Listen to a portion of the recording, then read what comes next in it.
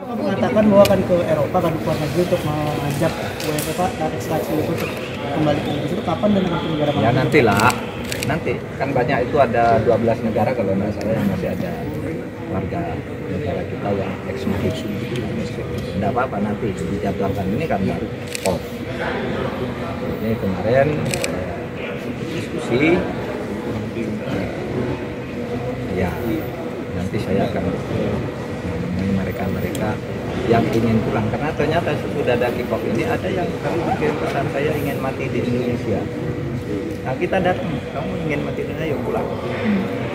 Ada yang sudah tua. Di sana 58 tahun. Ternyata betul nih pemerintah turun tangan lalu kirim pesan ada beberapa orang saya tahun bisa saya ingin pulang ke Indonesia ingin mati di Indonesia. Nah, kita jemput. Mereka korban bukan pelaku